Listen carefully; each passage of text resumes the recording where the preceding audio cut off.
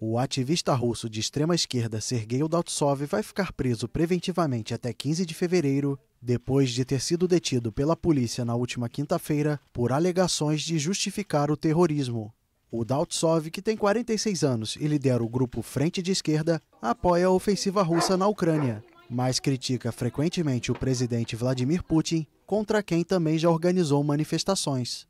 O ativista participou nesta sexta-feira de uma audiência em um tribunal em Moscou e afirmou que sua prisão tem razões políticas.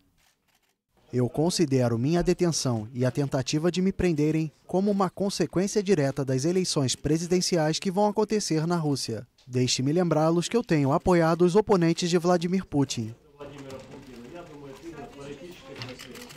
Os advogados de Udaltsov disseram que a detenção aparentemente aconteceu por conta de alguma postagem nas redes sociais e afirmaram que vão recorrer da decisão. O líder de extrema esquerda já havia sido preso em 2014, quando cumpriu pena junto com o também oposicionista Alexei Navalny.